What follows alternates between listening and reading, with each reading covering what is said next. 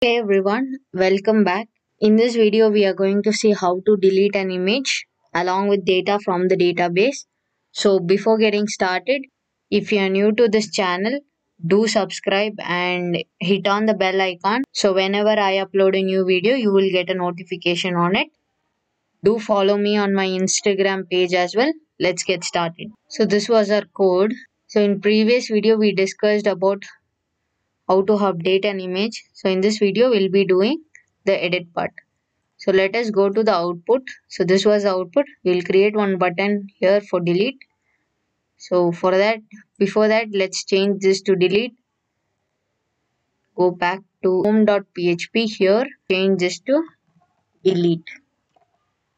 And here give a table header as delete image and here give one td copy paste. And remove this. Give this name as delete image. So now let us go and reload. You can see delete image. Let me change the color to danger. And now let us go and reload. You can see delete image. When i click on this image it has to take this id and delete this data. That is first thing. And here from uploads folder also it has to get deleted. So what we are doing is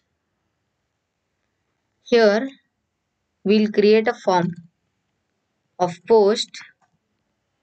Inside this form we'll cut and paste this.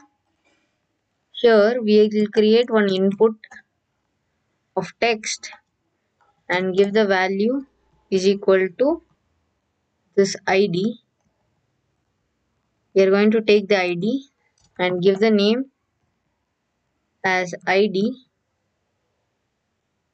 and yes that's it. Now let us go and so here instead of anchor tag we'll just give this in a button.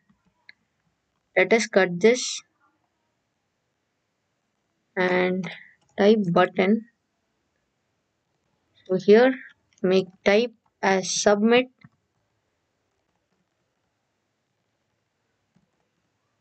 And give class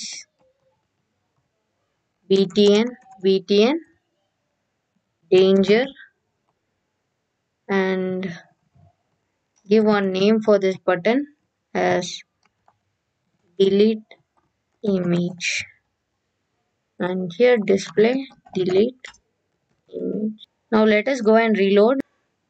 Here you can see you are getting this id so we'll be taking this id and deleting.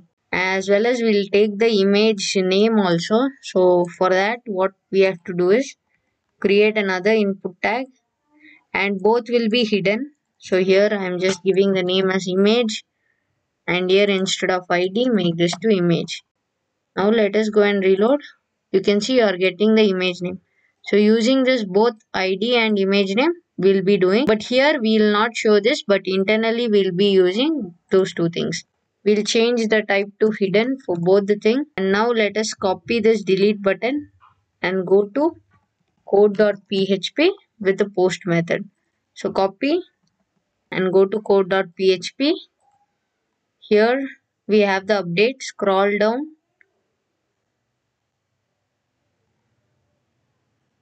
give if condition and tell is set of dollar post of the button name. So once that button is clicked what has to happen? It has to take the id and delete. So what we'll do here is create a variable is equal to id is equal to dollar post of id here this id is coming from here and we have image. So let us go to code.php copy paste this and change this to image. Now create a variable delete image query is equal to delete from students is a table name. So here also we are going to delete each id not the whole thing. We are going to delete individual data. So give a where condition where id is equal to dollar id and again give delete image query run is equal to using mysqli query function. Just connect your database and pass this delete image query variable. Don't forget to give the semicolon. And after this we are just going to echo using session we will be printing. So if this is working fine if that query delete image query run is working fine then show the success message and delete the image that is there in upload folder. Else show failed message. So here dollar session of status is equal to image deleted successfully and redirect back to header location location which is home.php give a semicolon copy paste the same thing for the else and change the text. Here image not deleted. Successfully and this will be redirecting back to home page itself. So here once the image is deleted we have to remove the image from uploads folder right? So what we'll do is using unlink function you can just remove that. Here give your folder name uploads and give a slash. Then concatenate that with this image. So copy this image and paste give a semicolon. So that's it. This is a code for deletion. Let us go test our code. Here go back reload. You can see delete image. So i'm going to delete user 2 before that if we have used session. Make sure you start the session on top here. And we have given home.php check once if session is started in home.php so here we have the session message and session is started. Now let us go and test our code. Reload once again and click on delete image.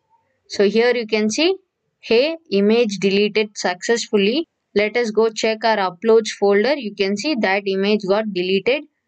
And you can check your database as well. Reload. You can see that user 2 got deleted. So that's it in this video. I hope this video was helpful. And if you have any doubt or suggestion let me know in the comment section. Like share and subscribe to the channel. Thank you for watching